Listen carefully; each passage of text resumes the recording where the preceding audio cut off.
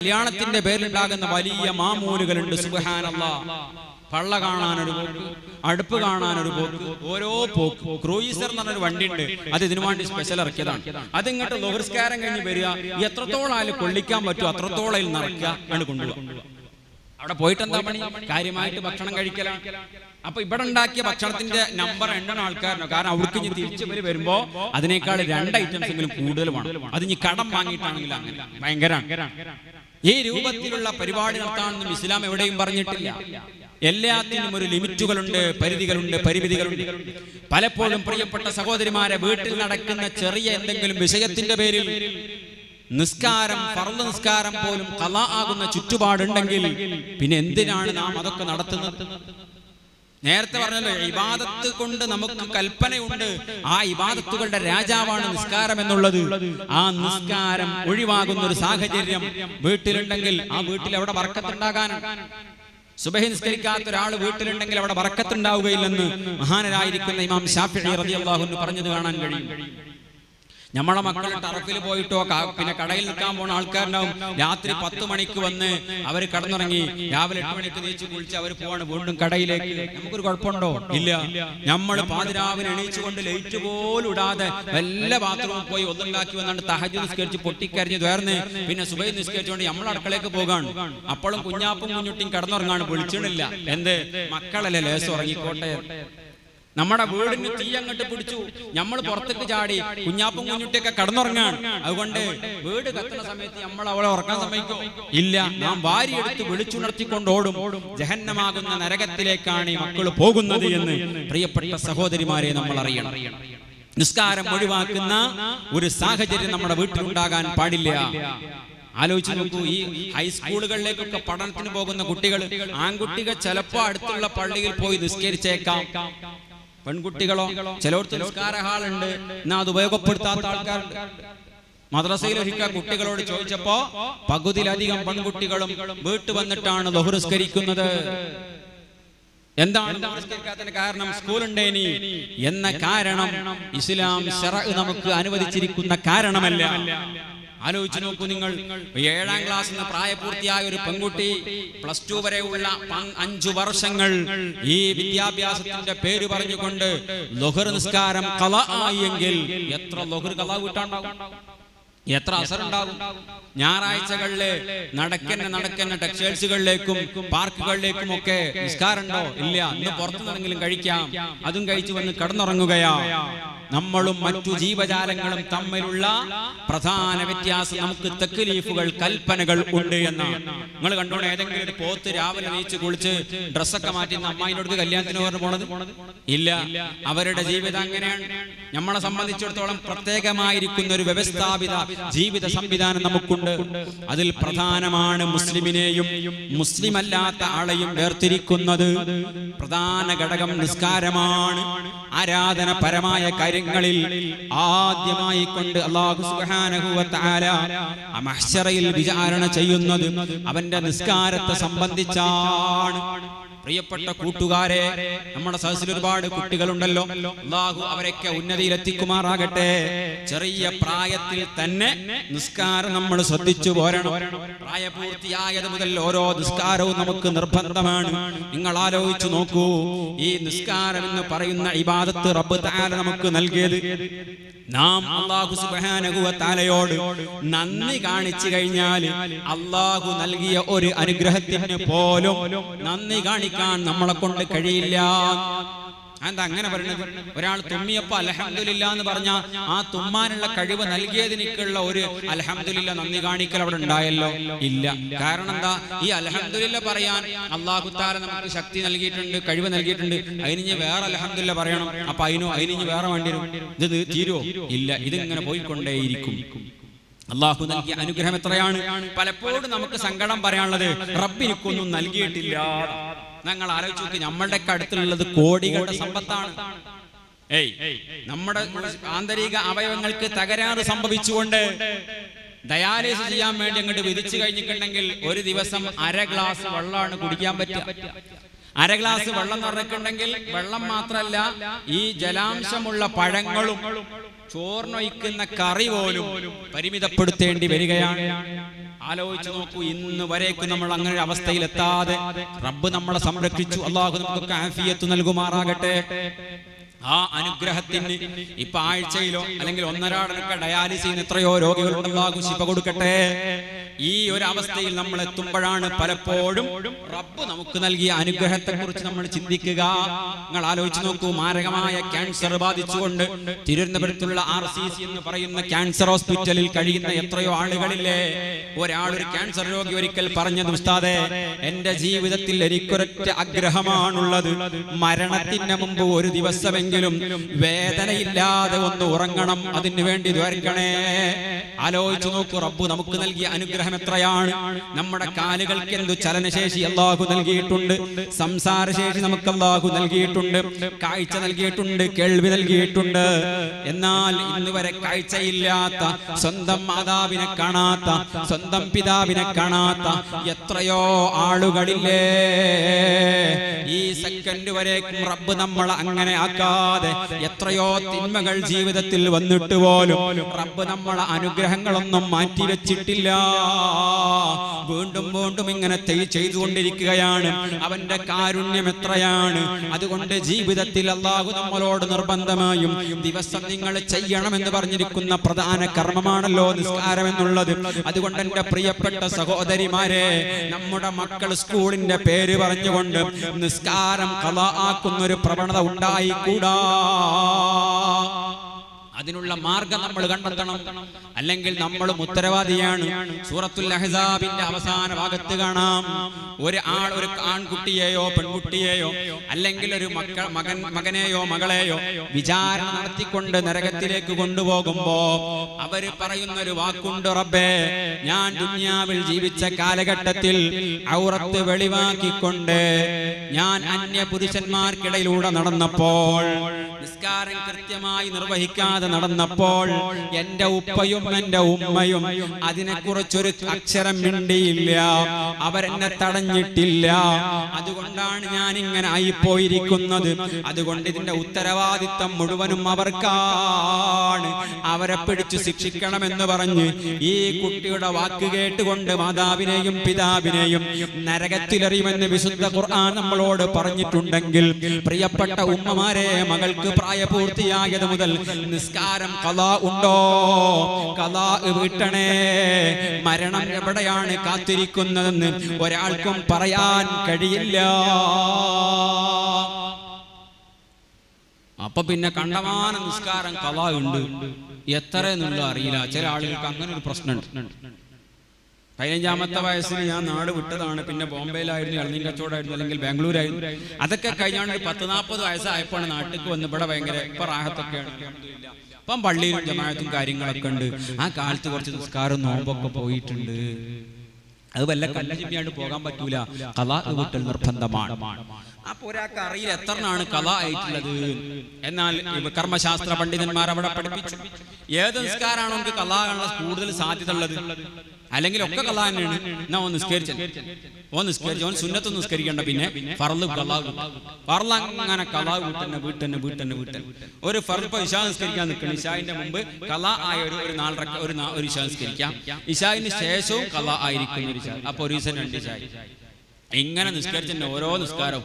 ഇനിയിപ്പോ ഒരാൾക്ക് ഒരു നിസ്കാരം കൂടുതൽ നഷ്ടപ്പെടാൻ ചാൻസ് ഇല്ലെങ്കിൽ ആ നിസ്കാരം ഇങ്ങനെ നിർവഹിച്ചു കൊണ്ടിരിക്കുക അങ്ങനെ കുറെ കാലം നിസ്കരിച്ചപ്പോ എനിക്ക് തോന്നി ഏകദേശം നിസ്കാരമൊക്കെ ആയിട്ടുണ്ടാകും അതുകൊണ്ട് ഇനി ഫുള്ള് നിസ്കാരം നിർത്തി വെക്കല്ല. മറിച്ച് അത് നിർത്തിയാണ്ട് ഇനി ബാക്കിയുള്ള അങ്ങനെ കണ്ടിന്യൂ ആയിട്ട് പോകും. അപ്പൊ കലാ വീട്ടാണ്ട് ഇനിയിപ്പോ കലാ വീട്ടാണ്ട് അതുകൊണ്ട് ഇനിയിപ്പോ ഇന്നത്തെ അതാത് നിസ്കരിക്കില്ല. അങ്ങനല്ല. അത് വേറെ അതുകൊണ്ട് പ്രിയപ്പെട്ട മുമിനിങ്ങളെ അള്ളാഹു നമുക്ക് നൽകിയിരിക്കുന്ന അനുഗ്രഹത്തിനിക്ക് ദിവസവും നമ്മളോട് ചെയ്യാൻ പറഞ്ഞ ഒരു കാര്യമാണ് നിസ്കാരം. നിങ്ങൾ ആലോചിച്ച് നോക്കൂ ഈ നിസ്കാരം കൊണ്ട് നമുക്ക് കിട്ടുന്ന നേട്ടത്രയാണ് വിശുദ്ധ ഖുർആാനിൽ നമ്മളോട് അള്ളാഹു തആല ആവർത്തിച്ചു പാരായണം ചെയ്യാൻ പറഞ്ഞ അധ്യായമാണ് സൂറത്തുൽ ഫാത്തിഹ. ഇരുപത് പേരുകൾ സൂറത്തുൽ ഫാത്തിഹത്ത് മഹാന്മാര് പഠിപ്പിക്കുന്നുണ്ട്. വിശുദ്ധ ഖുർആാനിലെ നൂറ്റി പതിമൂന്ന് അധ്യായങ്ങളുടെയും ആശയം മുഴുക്കയും സൂറത്തുൽ ഫാത്തിഹയിലുണ്ട് എന്ന് മുഫസ്സിറുകൾ രേഖപ്പെടുത്തുന്നത് കാണാൻ കഴിയും. അതുകൊണ്ടാണ് ഫാത്തിഹത്തുൽ കിതാബ് ഉമ്മുൽ കിതാബ് ഷാഫിയ കാഫിയ അങ്ങനെ ഇരുപതോളം പേരുകൾ മുഫസ്സിറുകൾ സൂറത്തുൽ ഫാത്തിഹയെ കുറിച്ച് പറഞ്ഞിട്ടുണ്ട്. നൂറ്റി അൻപത്തി ആറ് അക്ഷരങ്ങൾ സൂറത്തുൽ ഫാത്തിഹയിലുണ്ട്. ഈ നൂറ്റി അൻപത്തി ആറ് അക്ഷരമുള്ള സൂറത്തുൽ ഫാത്തിഹ ഇപ്പം ഇവിടുന്ന് നമ്മൾ ഓതിയിട്ടുണ്ടെങ്കിൽ നമുക്ക് നൂറ്റി അൻപത്തി ആറ് ഇന്റു പത്ത് ആയിരത്തി അഞ്ഞൂറ്റി അറുപത് നന്മ ചെയ്ത പ്രതിഫലം രേഖപ്പെടുത്തുകയാണ്. എന്നാൽ ഇതേ സൂറത്തുൽ ഫാത്തിഹ നിന്ന് നിസ്കരിക്കുന്ന ഒരാൾ നിസ്കാരത്തിൽ ഓതിയാൽ അയാൾക്ക് കിട്ടുന്ന പ്രതിഫലം ഒരക്ഷരത്തിന് നൂറ് നന്മയുടെ പ്രതിഫലമാണ്. പതിനയ്യായിരത്തി അറുന്നൂറ് നന്മ ചെയ്ത കൂലി ഒരു ഫാത്തിഹ കൊണ്ട് കിട്ടുമ്പോ നാല് റക്കഅത്തുള്ള ഒരു നിസ്കാരത്തിൽ അറുപതിനായിരത്തിന്റെ മുകളിൽ പ്രതിഫലം നമുക്ക് ലഭിക്കുന്നുണ്ട്. ഇങ്ങനെ നമ്മൾ കൂട്ടി നോക്കിയാൽ ഒരൊറ്റ ദിവസം പതിനേഴ് ഫാത്തിഹ നമുക്ക് ഫർദ് നിസ്കാരങ്ങളിലൂടെ നിർബന്ധമാകുന്നുണ്ടല്ലോ.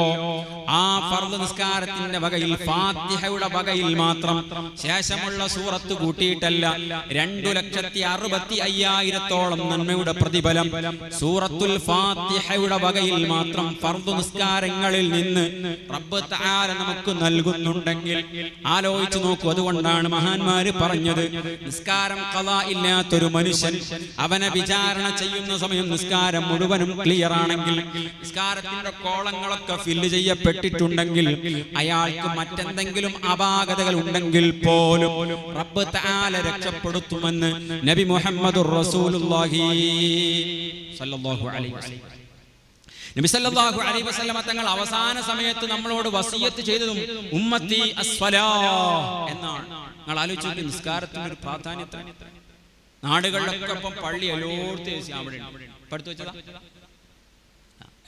എല്ലാ സ്ഥലത്തും പള്ളിയൊക്കെ നന്നാക്കിയിട്ട് എല്ലാ സംവിധാനങ്ങളും. മകരിവല്ലാത്ത ഭക്ത് പോയ പല പള്ളികളിലും ആളെ കാണാൻ. ആളില്ലാത്തതുകൊണ്ടല്ല എന്നാ വല്ല നേർച്ചയും പരിപാടിയും ഉണ്ട് നോട്ടീസിന്റെ അടിയിൽ എൻ ബി അന്നദാനം ഉണ്ടായിരിക്കും എന്നൊരു നോട്ടീസ് വിട്ടിട്ടുണ്ടെങ്കിൽ എവിടെ ഒന്നായിട്ട് വരുന്നത് നമ്മൾ കാണൂല. പള്ളികളിൽ നിസ്കരിക്കാൻ ആളില്ലാത്ത കാലഘട്ടം മന്ത്യനാളിന്റെ അടയാളമാണ്. മഹാനായിരിക്കുന്ന ഇമാം തുർമുദ് റഹ്മത്തുല്ലാഹി അലൈഹി അന്ത്യനാളിന്റെ അടയാളങ്ങൾ എണ്ണിയ കൂട്ടത്തിൽ പറഞ്ഞത് കാണാൻ കഴിയും. മോടി പിടിപ്പിക്കപ്പെട്ടിരിക്കുന്ന വലിയ വലിയ പള്ളികൾ ഉയരും പക്ഷേ നിസ്കരിക്കാൻ ആളുകളെ കാണാൻ കഴിയില്ല. വല്ലാത്തൊരു കാലഘട്ടത്തിലാണ് നമ്മൾ ജീവിച്ചു കൊണ്ടിരിക്കുന്നത് അതുകൊണ്ട് പ്രിയപ്പെട്ട ഉമ്മമാരെ നിസ്കാരത്തിന്റെ കാര്യം നമ്മൾ ഗൗരവത്തിലെടുക്കണം. നമ്മൾ മാത്രം നിസ്കരിച്ചാ പോരാ മക്കൾക്കും ആ ശീലം വേണം. പണ്ടത്തന്മാർ അങ്ങനെയാണല്ലോ. നിസ്കരിച്ചില്ലെങ്കിൽ എനിക്ക് ഇന്ന് ചോറില്ല എന്ന് പറഞ്ഞിരുന്ന ഒരു കാലഘട്ടമായി. ഇന്ന് ചോറില്ല എന്ന് പറഞ്ഞിട്ടുണ്ടെങ്കിൽ കുട്ടി ചൈൽഡ് ലൈനിലേക്ക് വിളിച്ചു പറഞ്ഞിട്ടുണ്ടെങ്കിൽ പിന്നെ മാതാവിന് വീട്ടിൽ ചോറുണ്ടാവില്ല. മൂപ്പരെ കൊണ്ടുപോയിണ്ടാവും. ഇപ്പത്തെ കാലഘട്ടം അങ്ങനെ. നിയമങ്ങൾ അങ്ങനെയാണ് ഇടയിൽ ചോറന്നല്ലടാ എന്ന് പറഞ്ഞ ഉമ്മമാരുടെ ഒരു കാലഘട്ടം ഉണ്ടായിരുന്നു. ചെലോൽ യാസീൻ ഓതും ചെലോൽ യാസീൻ. മാതാവ് ഇഷാസ്കരിച്ച് താഴത്തേക്ക് ഇറങ്ങുമ്പോ. അങ്ങനെയുള്ള ഓത്തെങ്കിലും ചിലർ ഓതിയും ഏതാണെങ്കിൽ പോലും ഇന്നത്തെ കാലഘട്ടം വളരെയധികം ശ്രദ്ധയോടെ നമ്മൾ മുന്നോട്ട് പോകേണ്ടുന്ന കാലഘട്ടമാണ്. എന്നാൽ നിസ്കാരത്തിന്റെ വിഷയത്തിൽ വിട്ടുവീഴ്ചയില്ല സുബഹി നിസ്കരിക്കാതെ കുട്ടികൾ മദ്രസക്ക് വരും.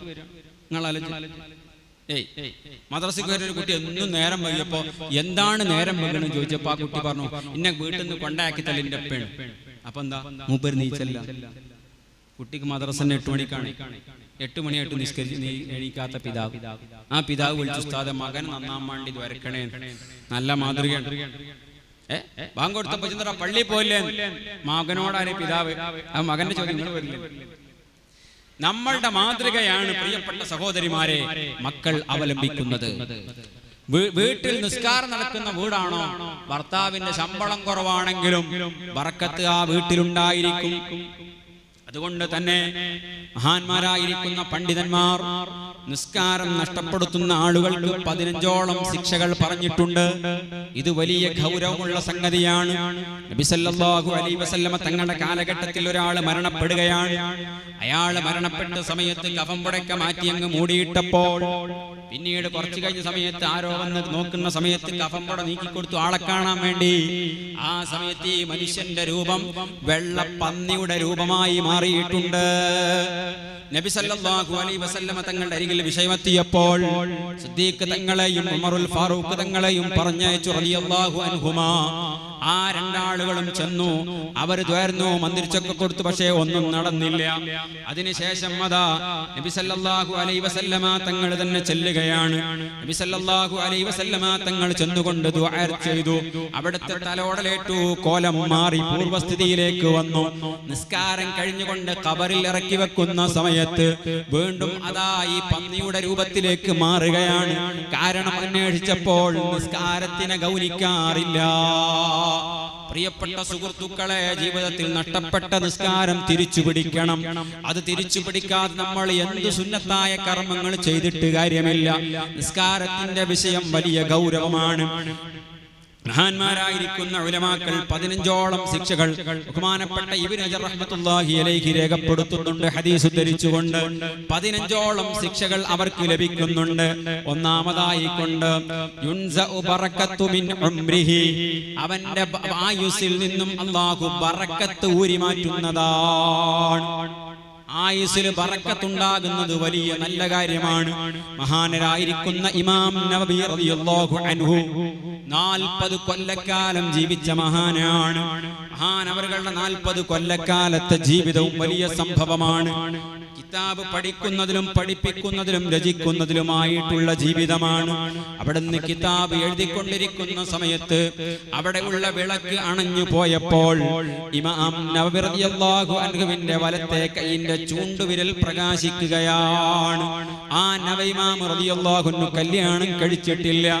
നാൽപ്പത് കൊല്ലത്തെ ദീനീ സേവനം കൊണ്ട് നാനൂറോ നാലായിരമോ കൊല്ലത്തിന്റെ സേവനമാണ് കാഴ്ചവെച്ചത്. ഇന്നും നമ്മുടെ നാടുകളിൽ ദർസുകളിലും കോളേജുകളിലും നമ്മൾ ഓരോ കിതാബുകൾ തുറക്കുമ്പോ അതിന്റെ വിഹിതം മഹാനായിരിക്കുന്ന നബവി ഇമാമിനിക്ക് ലഭിക്കുകയാണ്. അതാണ് ആയുസിലുള്ള പറക്കത്ത് നമ്മുടെ മധുഹബിന്റെ ഇമാമാകുന്ന ഷാഫി ഇമാം ഹിജറ നൂറ്റി അൻപതിൽ ജനിച്ച് ഇരുന്നൂറ്റിനാലിലാണ് വഫാത്താകുന്നത്. അൻപത്തിനാല് കൊല്ലമാണ് അവിടുന്ന് ജീവിക്കുന്നത്. ചെറിയ പ്രായത്തിൽ തന്നെ ഉപ്പ മരണപ്പെടുകയാണ്. ഫലസ്തീനിലെ വസയിലാണ് ഇമാം ഷാഫി തങ്ങൾ ജനിച്ചത്. അവിടുന്ന് രണ്ടാമത്തെ വയസ്സിൽ മക്കയിലേക്ക് വരികയാണ്. പിന്നീട് അവിടുന്ന് ചിന്തിച്ചത് അറബിയിലെ വലിയ സാഹിത്യകാരനാകണം. വലിയ സാഹിത്യം പഠിക്കണമെന്ന് വിചാരിച്ചുകൊണ്ട് നല്ല ഭാഷ സംസാരിക്കുന്ന ഗോത്രക്കാർ ഗോത്രക്കാർക്കിടയിൽ പോയി. അവിടുന്ന് താമസിക്കാറുണ്ടായിരുന്നു. അതിനിടയിൽ ഒരിക്കൽ മിനാ താഴ്വരയിലൂടെ സഞ്ചരിക്കുമ്പോൾ അതാ ഒരു വിളിയാളം ഒരു അശരീരി മുഴങ്ങുകയാണ്. നിങ്ങൾ ഇങ്ങനെ പാട്ടും പഠിച്ചുകൊണ്ട് സാഹിത്യം പഠിച്ച് നടന്നാ മതിയോ? കർമ്മശാസ്ത്രം ഒന്ന് പഠിച്ചു നോക്കൂ. അക്കീതയൊന്ന് പഠിച്ചു നോക്കൂ. കർമ്മശാസ്ത്രത്തിന്റെ പിന്നാലെ ഒന്ന് നിങ്ങൾ കൂടി നോക്കൂ. ഈ ഒരൊറ്റ വിളിയാളം കൊണ്ട് ഷാഫിമാമിന്റെ റൂട്ട് മാറി. ഏഴാമത്തെ വയസ്സിൽ ഖുർആന് മുഴുവനും മനപ്പാടമാണ് അർത്ഥസഹിതമാണ് പ്രിയപ്പെട്ട ഉമ്മമാരെ മനപ്പാടമാക്കുന്നത് പത്താമത്തെ വയസ്സിൽ മാലിക്കിമാമാകുന്ന തന്റെ ഉസ്താദിന്റെ മുവത്ത എന്ന് പറയുന്ന ഗ്രന്ഥം ഒരഭിപ്രായ പ്രകാരം മൂന്ന് ദിവസം കൊണ്ടാണ് മനപ്പാടമാക്കുന്നത് അതുപോലെ തന്നെ മഹാനായിരിക്കുന്ന അബു ഹനീഫ ഇമാമിന്റെ ഗ്രന്ഥവും ഔസത്ത് എന്ന് പറയുന്ന ഗ്രന്ഥം ഒറ്റ രാത്രി കൊണ്ടാണ് ഷാഫി ഇമാം മനപ്പാടമാക്കിയത് ഷാഫി ഇമാം തങ്ങൾ മാലിക് ഇമാമിന്റെ ചേർന്നപ്പോൾ അവിടുന്ന് കേട്ടെഴുതാനുള്ള പേനയില്ല. കടലാസിന്റെ കഷ്ണങ്ങളില്ല. അവിടുന്ന് മാലിക് ഇമാം തങ്ങൾ പറയുമ്പോ വലത്തെ കൈയിന്റെ ചൂണ്ടുവിരൽ കൊണ്ട് ഇതാ കൈവെള്ളയിൽ ഇങ്ങനെ എഴുതുകയാണ്. ഇത് കണ്ട മാലിക് ഇമാം തങ്ങൾ ചോദിക്കുന്നു മോനെ എഴുതാൻ പേനയില്ലേ? പെൻസിലില്ല? കടലാസില്ലേ? കൈകളിൽ ഇങ്ങനെ എഴുതിയിട്ടുണ്ടെങ്കിൽ അത് ഓർമ്മയുണ്ടാകുമോ? അന്ന് മാലിക് ഇമാം പഠിപ്പിച്ച സകല ഹദീസുകളും ഒന്നൊഴിയാതെ തർത്തീബായി അങ്ങ് ചൊല്ലിക്കൊടുത്തപ്പോ ആ ശിഷ്യനെ തന്നിലേക്ക് ചേർത്ത് പിടിച്ചു മഹാനായ ഇമാം മാലിക് ഇബ്നു അനസ് റഹ്മത്തുള്ളാഹി അലൈഹി തങ്ങൾ പ്രിയപ്പെട്ട ഉമ്മമാരെ അൻപത്തിനാല് കൊല്ലം ജീവിച്ച ഷാഫി ഇമാം തങ്ങൾ നമ്മുടെ ജീവിതത്തിൽ എന്തൊരു കർമ്മം ചെയ്താലും ഈജിപ്തിൽ മഹാനായിരിക്കുന്ന ഷാഫി ഇമാമിന്റെ ഖബറിലേക്ക് അതിന്റെ വിഹിതം എത്തുകയാണ്. ഷാഫി ഇമാം തങ്ങൾ നാടാകെ നാടൊട്ടാകെ ബിൽഡിംഗ് കയറ്റിയിട്ടില്ല. ഷാഫി ഇമാം തങ്ങൾ എല്ലാ സ്ഥലത്തും പാടങ്ങൾ വാങ്ങിയിട്ടില്ല. ഷാഫി ഇമാമിന്റെ സേവനം മുഴുക്കയും ഇൽമിന് വേണ്ടിയാണ്. അതാ ദറസ് നടത്തുന്ന സമയത്ത് ബാസൂറിന്റെ അസുഖമുണ്ടായി. ഇരിക്കുന്ന കസാരയുടെ ചുവട്ടിൽ ബക്കറ്റ് വെക്കുമ്പോ ആ ബക്കറ്റിലേക്ക് രക്തത്തിന്റെ തുള്ളികൾ ഇറ്റി വീഴുന്ന ശബ്ദം കേൾക്കുകയാണ്. എത്ര പ്രയാസങ്ങളാണ് അവിടുന്ന് സഹിച്ചിരിക്കുന്നത്. ആ ഷാഫി ഇമാമ് തങ്ങൾക്കുള്ള പൊരുത്തം എന്താണ്? അവിടുത്തെ ഉമ്മയോടുള്ള വലിയ സ്നേഹമാണ്. മാതാവിന്റെ പ്രാർത്ഥനയാണ്. ഷാഫി റഹ്മത്തുള്ളാഹി അലൈഹി തങ്ങളെ ഒരിക്കൽ ഒരു യുക്തിവാദി സംവാദത്തിന് വെല്ലുവിളിക്കുകയാണ്. ഇപ്പൊ യുക്തിവാദികളുടെ കാലമാണ്. തൊട്ടയിലും പിടിച്ചതിനൊക്കെ വെല്ലുവിളിയാണ്. സുബ്ഹാനല്ലാഹ് ഷാഫി ഇമാമിനെ വെല്ലുവിളിച്ചു. ആ സമയത്ത് ഇമാം ഷാഫി റളിയല്ലാഹു അൻഹു ഒരു മുസല്ല എടുത്തുകൊണ്ട് ഒരൊറ്റ നേരെ കടലിലേക്ക് മുസല്ലെറിഞ്ഞു. ഈ മുസല്ല കടലിന്റെ മുകളിൽ പൊങ്ങി നിൽക്കുകയാണ്. മുസല്ല കടലിന്റെ മേലെ പൊങ്ങി നിൽക്കെ. അതേ മുസല്ല കടലിന്റെ മുകളിൽ പൊങ്ങി നിൽക്കുകയാണ്. അങ്ങനെയൊക്കെ ഉണ്ടാകുമോ അങ്ങനെയൊക്കെ ഉണ്ടാകും അതാരോടാണ്? കറാമത്തും മുഅ്ജിസത്തും അംഗീകരിക്കുന്ന അഹ്ലു സുന്നത്തി വൽ ജമാഅത്തിന്റെ അഖീദയിൽ അടി ഉറച്ചു നിൽക്കുന്നവരോടാണ്. അല്ലാത്തവരോട് നമുക്ക് സംസാരമില്ലല്ലോ. അങ്ങനെ ആ സമയത്ത് ഷാഫി ഇമാം നടന്നുപോയി. ഈ മുസല്ലന്റെ മുകളിൽ നിന്നുകൊണ്ട് പറഞ്ഞു സംവാദത്തിന് ഞാൻ റെഡിയാണ് ഓഡിറ്റോറിയം ഇവിടെയാണ്. ഇങ്ങോട്ട് വരാ. യുക്തിവാദി അന്ന് മുങ്ങിയതാണ്. പിന്നെ മുപ്പൊരു ഇമാം ഷാഫി റളിയല്ലാഹു അൻഹുവിനോട് ആ സമയത്ത് അവിടുന്ന് ആളുകൾ ചോദിക്കുന്നത് നിങ്ങൾക്ക് ഈ ഫലീലത്ത് എങ്ങനെയാണ് കിട്ടിയത്? കൈഫനാല ഫളീല. ഈ ഒരു ദറജ നിങ്ങൾക്ക് എങ്ങനെ കിട്ടിയെന്ന് ചോദിച്ചപ്പോ ഇമാം ഷാഫി റളിയല്ലാഹു അൻഹു പറഞ്ഞ മറുപടി ഞാൻ പത്ത് ലക്ഷം ഹദീസ് ഹൃദ്യസ്ഥമാക്കിയിട്ടുണ്ട്. അതുകൊണ്ടാണ് നല്ല പത്ത് ലക്ഷം ഹദീസ് ഷാഫിമാമിന്റെ മെമ്മറി പവർ ഇമാം ഷാഫി റളിയല്ലാഹു അൻഹു പത്തു ലക്ഷം ഹദീസ് മനപ്പാടാക്കി ഖുർആൻ മനപ്പാടാക്കി അനവധി ഗ്രന്ഥങ്ങൾ മനപ്പാടാക്കി. ആ ഷാഫി ഇമാം പറഞ്ഞിരിക്കുന്ന ഫിഖഹിന്റെ മസലകളാണ് ഷാഫി മദ്ഹബകാരാകുന്ന നമ്മൾ ഫോളോ ചെയ്യുന്നത്. എന്നാൽ ഷാഫി ഇമാമിനെ തക്ലീദ് ചെയ്യാത്ത ഇമാം ഷാഫി തങ്ങളെ അംഗീകരിക്കാത്ത വഹാബികളും പുത്തൻ ചിന്താഗതിക്കാരും ഒക്കെ ഹൈദ് നിഫാസിന്റെ മസലയുടെ ശുദ്ധിയുടെ കാലാവധി ഹൈദിന്റെ ചുരുങ്ങിയത് ഒരു രാത്രിയും പകലുമാണെന്നും സാധാരണ ആറോ ഏഴോ ദിവസമാണെന്നും കൂടിയാൽ പതിനഞ്ചാണെന്നും എങ്ങനെ കണ്ടെത്തി? എവിടുന്ന് ഏത് ആയത്തിൽ നിന്നാണ്? മറുപടി ഉണ്ടാവോ? ഉണ്ടാകൂ. അതുകൊണ്ട് ഇന്നൊന്ന് പറയും നാളെ മറ്റൊന്ന് പറയും. ഇതിനേക്കാണ് വഹാബിസം എന്ന് പറയുന്നത്. ഞാൻ ഇപ്പൊ അതിലേക്ക് കടക്കുന്നില്ല.